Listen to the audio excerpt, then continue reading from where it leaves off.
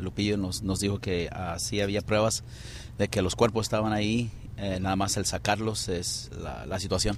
¿Lupillo está en México?